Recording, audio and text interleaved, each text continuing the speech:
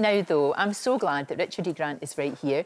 He's just released his new book. It's called A Pocket Full of Happiness, based on diaries that were written after he made a promise to his wife, Joan. There she is, shortly before she died. And he joins me now.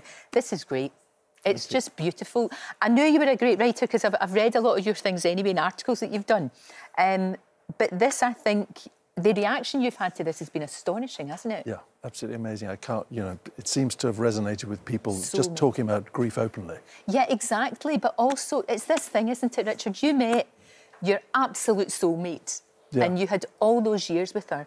But because of that, because you were so close, the grief that's the price you pay sometimes, isn't it? Yeah, it is. You know, we had 38 years together. So, uh, and she said to me four days before she died, she said, my, my daughter and I, she said, I know that you'll be sad, but try and find a pocketful of happiness in each day. That. And it's been great because it, me- it means that it's given us a sort of mantra of how to deal with you know, the abyss of grief um, in the last 13 months, and also not to feel guilty if we feel happy or joy in, in, That's in the thing, isn't it? I think sometimes people don't can't really handle that. Sometimes they sort of, you know, because you, you, get the joy from people talking to you about her. Yeah. I mean, I, I sadly never met her. What a great woman. I agree. She was astonishing. I mean, funny, feisty, so good at her job. I mean, at the end, there's all these amazing plaudits from people, including Meryl Streep, who says what a light she was. So funny and so smart.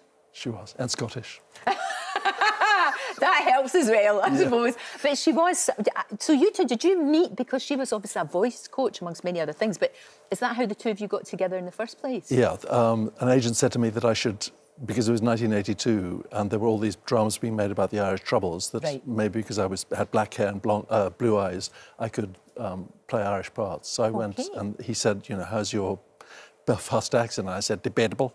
So debatable. Yeah, yes. debatable. So I went and had accent classes with her, and then asked for some private lessons, and then she asked me to put some stuff on tape for her of a play at the Royal Shakespeare Company she was coaching on um, wow. in Siswati, which is the language that I speak from where I grew up. Of course. And that's how we met. And so that conversation began in bed in January 1983 and ended in bed on the 2nd of September 2021. Wow. That's astonishing, isn't it? Yeah. And you did. I mean, like I said, no one's got a bad a bad word to say about her. You and your daughter have had to go through losing her, mm-hmm. but you're incredibly close, aren't you? The two of you. Yeah. You really are. What did she think of the book?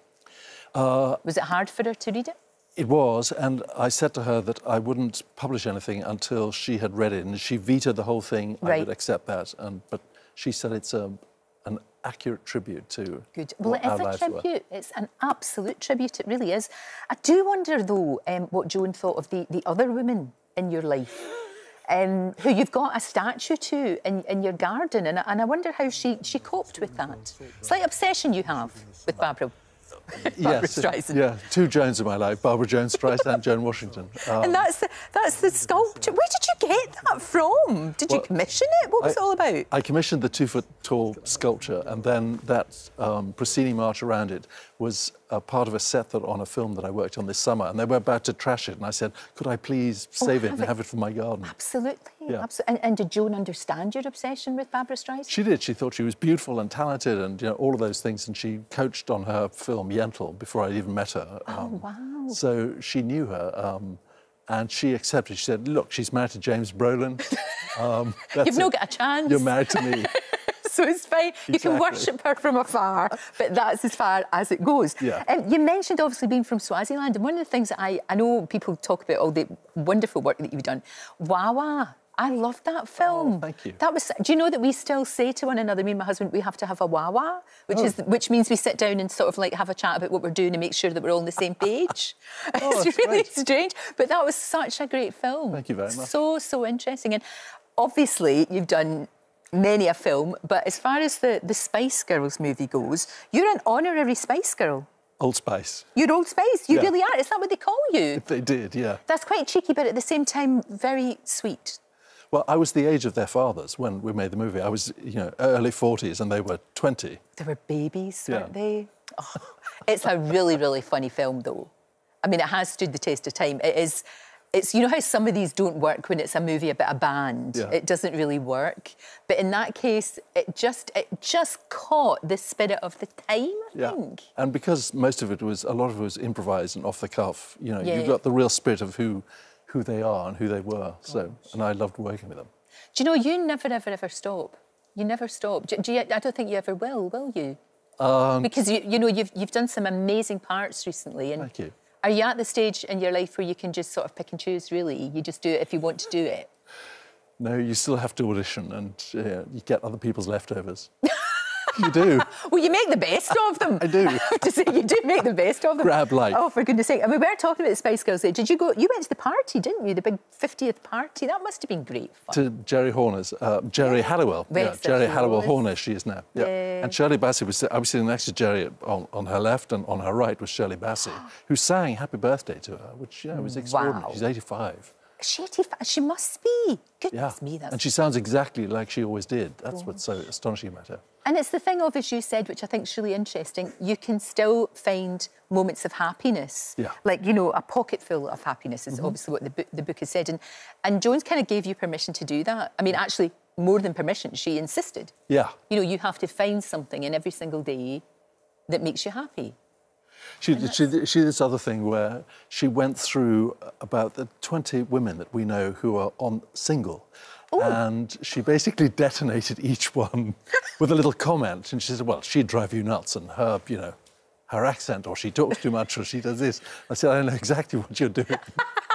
I think that's brilliant. Oh, gosh, she was so Yeah, special. lioness. Yeah, I think so. And, and like I say, she worked with, gosh, just about everybody she Oh, worked yeah. with. And you do forget that because you, you, you sort of assume, you know, you're an actor and of course you can do all of these accents and you can do all of these different, you know, different characters. Of course you can. But you need help. Yeah. You know, you do need help. And she was the, she was the top of her game, wasn't she, really? There was. wasn't she was the go-to. She was, absolutely. Yeah. If you wanted that, Gold you know, standard. Yeah, definitely gold standard. And very handy for you as well if you had a part that you Yeah, the last, the last thing she taught me was a working class Sheffield accent to play uh, an old drag queen called uh, Loco Chanel. And everybody's talking about Jamie, the musical. Coco Chanel, Yeah. brilliant part. Oh, an amazing part. So she taught you that too. Yeah, and she said, stop flirting with me when I was, she was teaching me. And I said, well, it worked first time 38 years ago. Oh, do you know what? Isn't it lovely to talk about somebody that you loved that sadly is no longer here, but you can laugh? Yeah. So many laughs, and there are so many, so many good times in here. Thank you. Um, and it really has, like I said, it's really resonated with so many people and helped an awful lot of people as well. And you've taken it, taken it on the road too. I have, yeah. doing it Yeah. one man show. I'm going to Australia on Wednesday. Oh, fantastic. And what sort of reaction do you get then? I mean, I would imagine people just want to talk to you and share experiences and things. They do, and there's a in the second half there's a um, a dialogue with Yeah. the audience. They ask questions, I answer them, and then I see them at the book signing afterwards, and you, know, you you get one to one. Yeah, of course you do. And people will want to tell you, Yeah. to tell you stuff. Does it help you a little bit?